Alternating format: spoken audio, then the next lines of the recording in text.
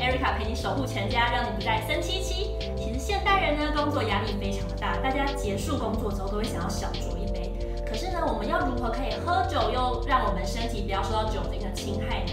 关于这点啊，其实你可以在外面听到非常非常多的传言，但是这些传言到底是真的还是假的呢？我们的脑子都充满了很多问号。不过不要紧的，我们今天请到专业的营养师李婉萍营养师，欢迎老师。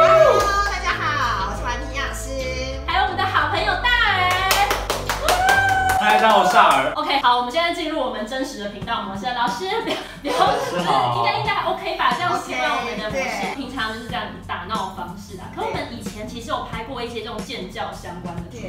被骂翻的然。后真的啊网络霸凌这样，在聊那个男女生如何上厕所的问题。女生如果上完厕所应该要从有前往后擦，还是由后往前擦呢？大耳就会分享男生应该要站着尿尿还是坐着尿尿，我们就被霸凌了，所以我们就之后就再也不拍这种主题。对但大家好像蛮喜欢看的，对，我们今天就是觉得，嗯，有爱骂。一年之后我们就决定我们要重新复出建教的议题。而且这一次非常重要，跟我们的生活大家都息息相关。是是一定要喝酒吗？对呀、一定要喝酒吗。但是我们又不敢自己讲，所以我们决定请专业来，让我们专业的大碰撞的一个感觉。第一个是什么？哦，是你讲的红酒跟啤酒。我平常在外面喝酒，我个人是比较担心热量的问题，我怕怕，所以我就会你有在怕吗？很好，哇，你看它保持的那么好，那么美，这样子。老师，你不要这样。我要飞起来了啦。对啦，因为大家都说喝啤酒会容易有啤酒肚，所以啤酒应该是比较容易发胖。那红酒就是人家就说，啊，红酒比较健康。那我们先来讲，就是说一样一百 CC 哦，一百 CC 就大大约是养乐多一罐，那个大小就叫一百 CC。一百 CC 的啤酒，它的热量四十卡，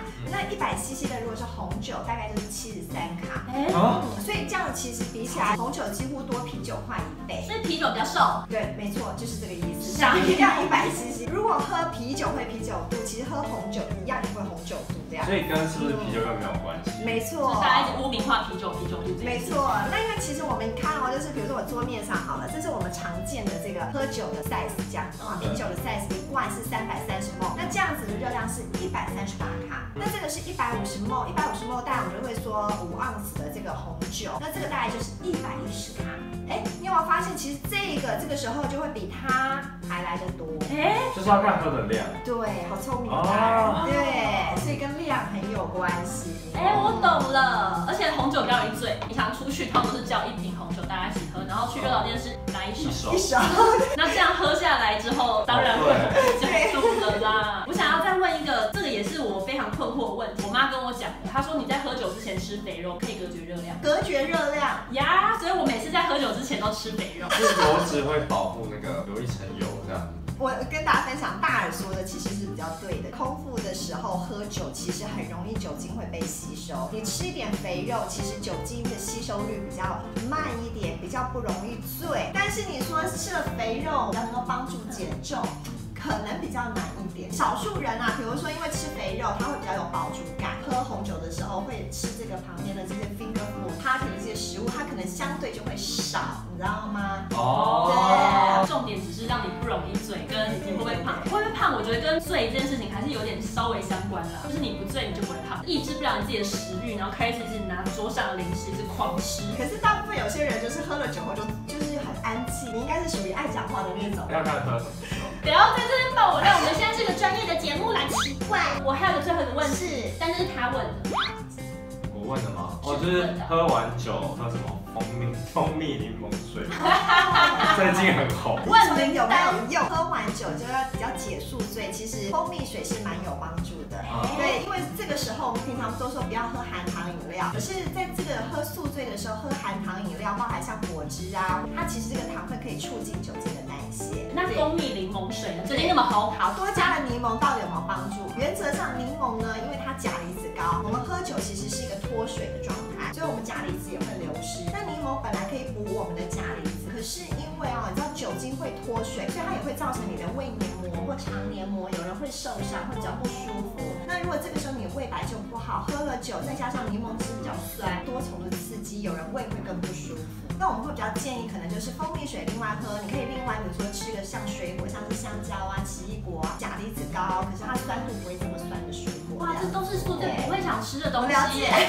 谁说在想吃水果，我的妈呀！可是蜂蜜水配香蕉会不会有问题啊？不会啊，为什因为因为不是？说吃香蕉什么多久不能喝水吗？吃了香蕉再多喝水，它的蠕动会很快，哦对，所以他就会觉得他有点像拉肚子。要减肥就这样做对，。或是这个排便不顺畅的人也是一个方式。但老师，那你有想要跟那些呃，就像这种爱喝酒的人呢，平哎，为什常的一么是些指我？好 好好，在地中海饮食里头呢，酒还是要适量哦，一天要两天，一定要有休肝日。就是一周一到两天不能喝酒，所以我可以一到喝五天两天，就是两天一定要就是休肝。两就是两天对可以去喝你喝五天。对，但是喝五天的时候呢，要记得所谓的适量饮酒是很重要的。适量大概是怎么样？好，适量每个人程呢，度对，大概就是啤酒一到两罐，红酒一到两杯。这么少，酒精喝下去都是由肝脏来做代谢。你如果天天喝，就算是适量，它还是很辛苦。如果像我这样子睡得比较不正常，就是比较晚睡，但我因为睡足比如说七个小时，这样我的肝会比较难去。哦，你问得很好。解酒这件事情呢，其实还有一件很重要的因素。如果你现在身体状况好，比如说你睡眠好、免疫力好、营养好，你的解酒能力相对就会更好。所以像有些人就会说，哎，怎么好像我心情不好，这个时候就是更容易醉，这真的。哦真的对真心情不好就不要喝了啦，很容易出事的。也顺便提醒大家，其实很多人都会觉得喝酒是可以帮助入睡。其实这句话是一半对一半错。的确，你可能比较好睡，就是立刻会比较容易睡着。但是呢，就是你会睡眠不安稳，你很容易浅眠、多梦、做梦，或是很容易就是起来。那你只要睡觉一旦被打断，变成睡眠。长知识了，我真的每一点都讲中。你看，你还说你自己不爱喝酒，我我最近就是好了，没关系，我们今天从老师身上长了非常多的知识。耶那如果喜欢我们的影片的话，记得帮我们按赞、订阅、下面留言、分享哦，谢谢老师。谢谢林婉婷营养师，谢谢大家拜拜拜